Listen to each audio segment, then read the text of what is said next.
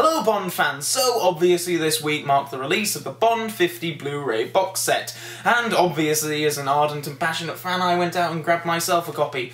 Despite already having this collection on video, on special edition DVD, on ultimate edition DVD, and even some of them on Blu-ray previously. I just, I can't get enough of this series. My first foray into Bond on home video was in like 1999 or something when they were on these VHSs in this particular series. I know that Bond had been released before on videotape, like probably countless times, but this particular series was the one that got me started on Bond. A lot of these tapes were like the first format I ever saw some of these films on, and at the time they were great. They were the bee's knees. And I loved the whole collecting thing. I mean, it was so cool when you connected them all up. They made that awesome image of all the bonds, and there was the fire in the background, and the Lotus was there, and there was Ursula Andress, and it, it was so cool to see them all kind of build up because I was building this collection over like months, and so it was really cool to see them slot together.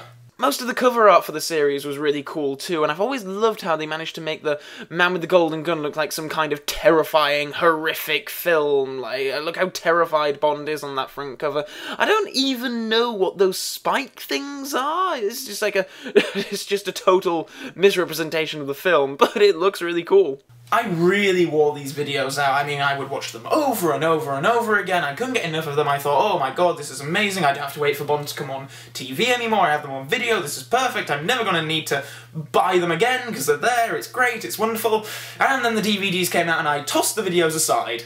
These DVDs were awesome. There was something so cool at the time at having these films on DVD. They had never looked better at home. Even on TV, they never looked as good as this. And my god, the extras. The extras were the best thing about these DVDs. As making of documentaries narrated by Patrick Macnee are just excellent. They are like the definitive accounts on the making of these films. They're so engaging and I've watched them all, like, well, multiple times and they're still interesting. They're still entertaining. They're just awesome. I also really loved how each film had its own personally styled DVD menu. I know it's not necessarily a big thing, but it's just so cool that they went to the effort to do this. Even if the whole activate thing got a bit annoying after a while. Like, yeah, I put the DVD in, I want to watch this film. Just cut to the chase. Why do I need to activate just to get to the friggin' menu? Though I guess the DVDs did come with cool little booklets to pass the time while waiting for the menus to load. And hey, look, those spiky things from Remember the Golden Gun video cover have moved to the Live and Let Die cover. Seriously, are they some kind of plant? What the heck is up with Moore on the Octopussy cover? They airbrushed him to hell. His hair looks like a helmet. So here we go. These special edition DVDs are obviously uh, going to be the definitive way to watch these films for generations to come. Oh, hello, Ultimate Edition DVD. Yes, the films were re-released on DVD, and as an ardent and I guess, well, stupid fan, I greedily bought them up. These particular DVDs were two discs per film, and they were stacked with bonus features. I mean, I, I thought the extras on the previous DVDs were good, but this collection had everything from the previous versions, plus a whole load of uh, archive programs and featurettes, and even some new stuff like uh, interviews with James Brolin on how he nearly got cast as Bond in Octopussy. They even have a couple of screen tests here.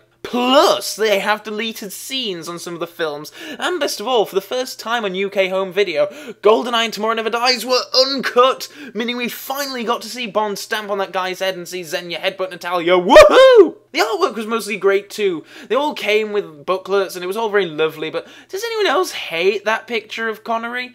I mean, look, they've used it on a few different Thunderball covers now, and I just, I don't know why. I mean, it looks like he's mid-yawn. His eyes are half open. But anyway, surely now this was going to be the definitive Bond collection for the ages. And now we're here, the Bond 50 Blu-ray box set. The first time all 22 Bond films have been released on Blu-ray. So, is this the definitive Bond at home movie collection? Well, the films never looked this good, that's for sure, especially the early Connery films. I mean, they look like they were shot yesterday. The quality is so good. The extras are awesome too, but there's nothing new. It's all ported over from previous discs, and we still lose out on a couple of extras from the Die Another Day Special Edition, which is a shame. That friggin' inside Die Another Day feature, it was more entertaining than the film itself. And of course, as you're probably already aware, we get a really shitty bonus disc. And when I say shitty, I mean absolutely, totally, abominably offensive. Like on the back page of the packaging for this set, the synopsis for this bonus disc takes up like a third of the packaging, and you'd think it'd be something kind of special from that. And when I first heard about this online and they described the being Bond feature, I was like, wow, okay, cool. I kind of thought maybe they'd have gotten new interviews with most of the Bonds and it was going to be like a good 40 minute long documentary or something and they were all gonna go around and they were all gonna talk about all the other incarnations, all the other actors, and how they feel about the role, how they interpreted it. But no, what we get is three minutes of sound bites called from other, better documentaries from this set. The designing Bond feature at 2 is such a wasted opportunity. It's like four minutes long and it's such fluff. I mean, I went to that exhibit at the Barbican where they filmed this particular feature and there was a wealth of Bond props and costumes and things. That, I mean, they could have talked about almost anything. I mean, and they could have tried not to cover the same material from other documentaries, but it was just, it just ends up being so underwhelming. There's also some Skyfall vlogs, but you can see those on YouTube for free anyway, and the World of Bond thing is just stupid. It's just a montage of villains and gadgets and things like that, but what's the point? I can never imagine coming home, sitting down and thinking, oh yes, I must watch that villains montage. And some reviews have said that having the title sequences all together in one place is cool, and like it runs for an hour or whatever, but I just don't give a shit. I think this is really a case of I just wish they hadn't bothered with it at all. It feels like they just needed an extra disc in the packaging so there'd be a 24th disc slot so then it's all even and symmetrical and that. The set also comes with this kind of weird slot at the back. Like, it's here 2012, so Skyfall, fair enough. Space reserved for Skyfall, great. It's the Bond 50 Blu-ray box set, so it's only appropriate that it's there. But does that mean that Skyfall's going to come without a case? Like, is it just going to be a disc on its own? Because otherwise I'm just going to have, um, like, an empty Skyfall case on my shelf. And I don't want that. That's bloody mental. That's worse than a delicatessen made out of steel that isn't stainless. But bonus disc and confusing empty slot thing aside, it's a pretty comprehensive set. I mean, it's not complete. We're still missing the Inside Die Another Day documentary from the special edition DVD, and the picture-in-picture -picture commentary from that particular Blu-ray release of Casino Royale isn't there. And we all know there's an audio commentary or two and an alternative ending for Quantum of Solace out there, but they're not here, which means we'll probably get another version of that sometime soon.